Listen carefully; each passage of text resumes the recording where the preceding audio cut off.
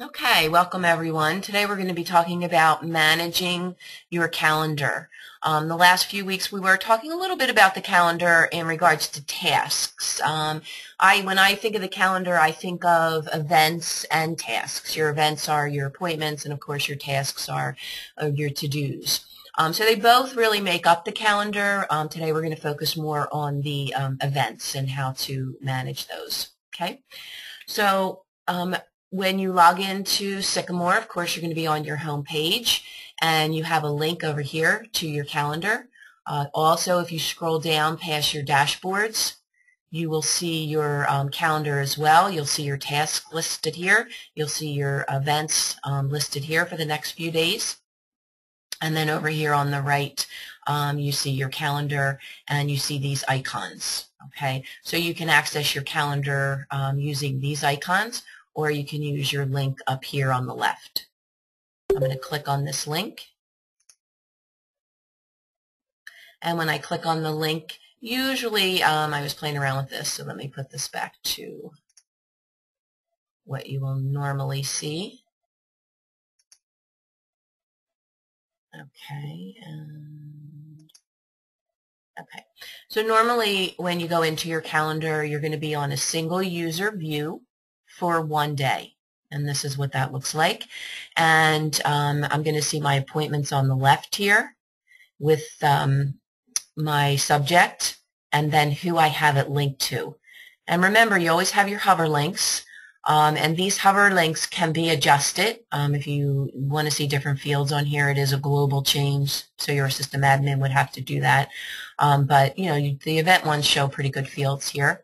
And then we see our tasks over on the right, and we talked about those in length the last couple sessions. So up top here, we have a 7, and that'll give us a 7-day view of our calendar. And then, of course, a monthly view of our calendar. Okay, um, but all of these are showing my calendar. That's what I'm looking at by default. And you can switch to other people's calendars, and I'll show you how to do that in a little bit. But besides the single calendar, you can do a multi-calendar view. And this is when you want to see other people's calendars. Now, by default, so I'm on a seven-day view, or I'm going to go back to one-day view. It's a little confusing when you look at it that way. Um, so when you first come in here to the multi-user calendar, you're going to see everybody in your firm. So if you have a large firm, um, you're going to see a lot of people listed there. Okay, so um, it is a way to see what people have going on, what their availability is. Um, generally, depending on the rights in your system, you can hover over somebody's name and it'll tell you what the details of that particular um, appointment. Whether you can edit that appointment or not depends on the rights that you have to that person's calendar, and I'll show you how you can um, access uh, the rights for other people. Okay, um, but one thing that you want to do, and we talked about this last week in creating views, is you may want to create a view um, for the people that you work with. Okay, so um, if you go in here, you can say create view, and then you can give it a name and put in what you want. So I did one over here. I'm going to say my team. Okay, and then I'm going to click on edit. And I have here um, this is, you know, this is a sample database, so one user's name is standard and the other user's name is admin. But basically you can say full name contains and you can put in the people's names that you want to show on that particular calendar okay? And then you can say that it's just visible to you or visible to other users. Now again, whether you can come in here and create these views, whether you have the rights to or not, if you don't have the rights, you can ask your system admin to create that view for you. Because if you're going into the multi-view and you're seeing everybody in your firm, um, you know, it's not going to be very uh, efficient for you. So you definitely want to have a view for that, okay? And then um, this button here is your activity list. Now, this will show you, we looked at this last week for the um, tasks, but this will also show upcoming events. It's just another way of looking at your events that you have coming up. Um, again, you can create any kind of view that you want. So some people like to look at it in a list view, or they might want to print it out. Remember, you always have your print button over here where you can print out any list view. Um, and it just gives you all of your appointments, um, you know, in a list view. So you can use that as well. So if I go back to my single user view and I'm going to go to my seven day view and I'm going to create an appointment for next week. So I'm going to go to my calendar up here and I'm going to go to next week. Okay. And I'm going to go to the 29th here and I'm going to click on the plus sign. So of course there's several ways that you can create events. This is one way. So that's going to bring me up to the 29th. Um, it will bring me to the current um, time, okay, or the next hour within the current time. So if I click on that box, I will then be given a drop down. It will always default to one hour later, which is kind of nice, uh, but of course you can change that. The subject, you're going to put in there whatever you want, and that's what's going to show up on your calendar. This little lookup has certain um, subjects that are put in there by your system admin. So if you want to request certain um, subjects, you can put those in there.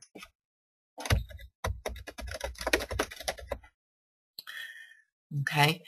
The um, admin user, that's me, and that's who this appointment is um, owned by. Okay, so I'm scheduling it for myself, and I'm going to own it. So whoever's name is in here is the person who owns that particular record. So you can make appointments for somebody else, but they're going to own that record. So if you do not have rights to their calendar, then once you assign it to them, you can't get back to it. Okay, so people have to give you the rights to their calendar, and I'll show you how to do that. Okay, so you can, um, you know, of course, go into this lookup, and you can look up other people and assign that appointment to them. But if it's for you, and you want to invite other people, then that's something different, and I'll show you how to do that in a moment. Now, over here on the left, I find is what most people wind up ignoring. I'm sorry, on the right, most people wind up ignoring. Um, you want to relate your events to either contacts in your system or accounts in your system. Now, most of you use accounts. All of your clients are accounts. Um, any professionals that you work with are generally accounts. Um, most of you don't use contacts, actually. Um, so if you want to link this to your client, you'll come over here, related to, and you're going to come up to the top of that list and say account. And then, of course, go to your lookup and then you're going to pick your client. And that makes it so that that client's name shows up on your calendar and so that when you go to that client's account record, remember we have the related lists at the top and we see open activities, it'll list this activity in that client's um, account so you can see that you have it coming up.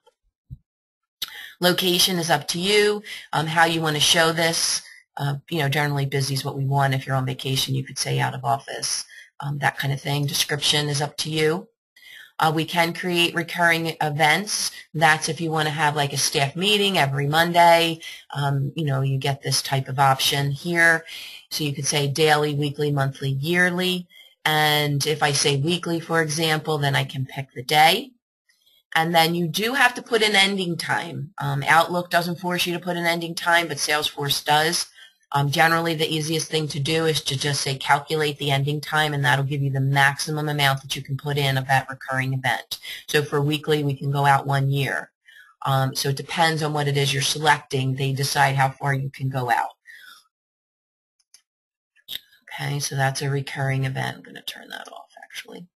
And then your reminder. You can have reminders uh, for this particular event, and it'll pop up that many um, amount of time before the event, and um, you can turn the reminders off if you don't want a reminder.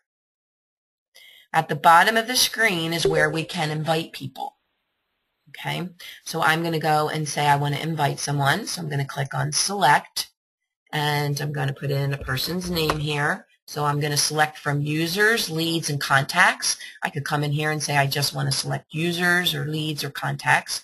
So even if it's a person, a professional, that you want to invite to your meeting. If you have a record on them, then you can invite them to the meeting.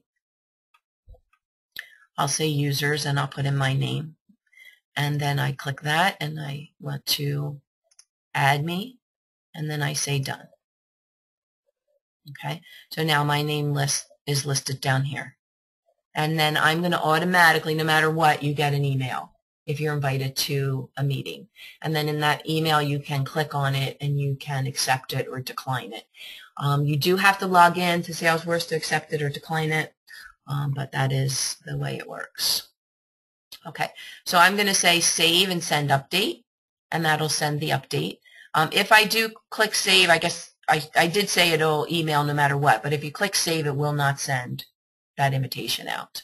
Um, you can check spelling and then um, cancel. So you have these same buttons at the top or at the bottom. So I'm going to click Save and Send Update. Okay. And then there's my appointment on my calendar there. And I can go back to it. It's going to pull it up.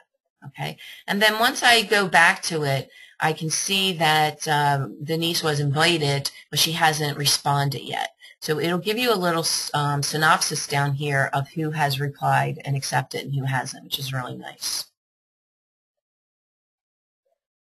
And you can see that up here as well. Okay, so I should get that um, email. Okay, and this is what it looks like. Okay, so if I say respond to this request, it'll ask me to log in and then I can say yes or no. Um, I'm not going to do that because it'll kick me out of this admin one, but that's what the email um, looks like. Okay, so um, if I go to my multi-day now um, and I say all users, I didn't add Denise to my view, um, then I can see that appointment listed over here. Okay. Now, if you want to give rights to somebody else to see your calendar, you're going to go up here to your name. You'll have your name up here. You're going to go to um, Setup. And you're going to go over here to the left to My Personal Information and then Calendar Sharing. Now, if you're a community user, you do not have this option. Um, but if you're a full Salesforce user, you do have this option. And I click on Calendar Sharing and then I want to add and then I want to go into users and then I can add a person. After you add a person, you want to come down here to calendar access. Show details and add events is the default. Um, but generally, if you want to give somebody full access to your system, allowing them to um, edit your appointments and such, you have to give them full access and then you click Save. So now if I want to switch to Denise's calendar, I go to the calendar. Again, it's always going to show me mine by default. From the daily view, you do have to be on the um, single user, sorry, single user view and the daily view. This is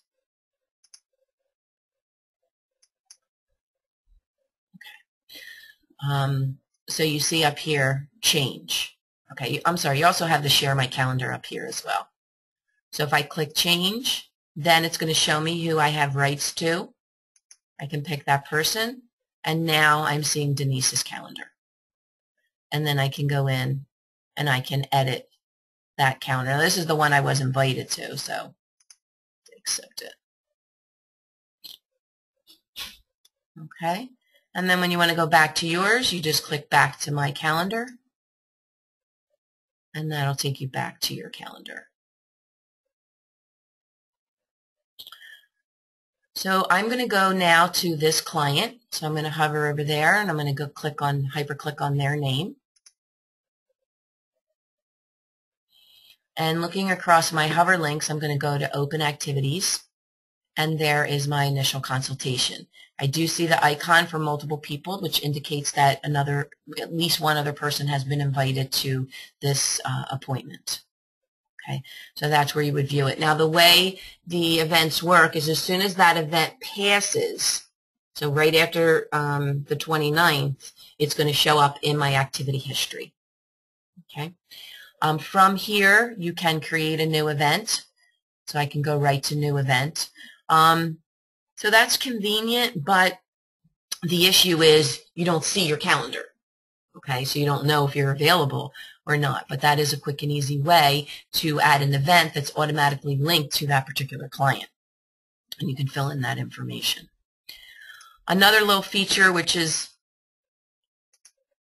nice, um, I don't know how much people use it, but it's kind of cute. If I go to my client list here, and I scroll down, so I see my list, and then at the bottom of the list, I have an open calendar.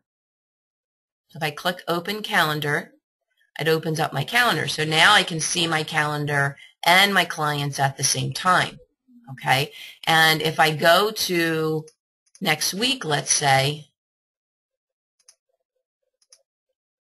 and I take a client and I drag them down, it's going to put an appointment there. So that's kind of a nice little drag and drop way of creating an appointment. And it links it to that client automatically. Okay, and then you can say close calendar. So again, from the account view, you can go into one of your list views, scroll down to the bottom, open your calendar, and then you can drag a person onto your calendar and it pops up the window. You type in your description, click save, and you've created an appointment. Okay, so that doesn't give you the option to invite or anything like that, so you'd have to come into it, click edit, and then you could go down and invite other people. So it's just a quick, a quick add way of adding in events.